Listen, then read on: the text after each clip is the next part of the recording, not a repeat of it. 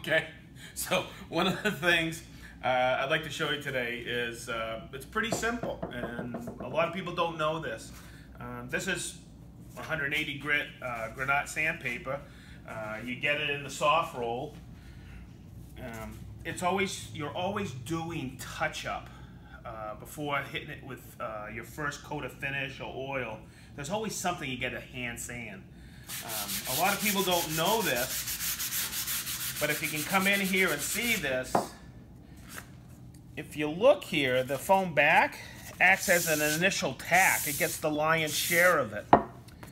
So you'll save on your tack rags before you hit it with oil or finish or lacquer. So I hope this helps.